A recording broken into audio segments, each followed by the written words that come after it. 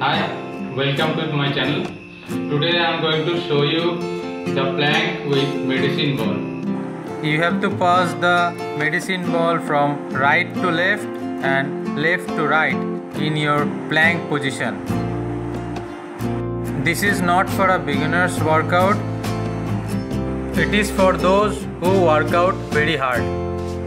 You have to do 3 to 5 sets and minimum 60 seconds each set.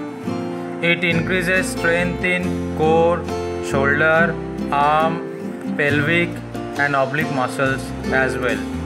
You can do with also water bottle, pillow, school bag as well.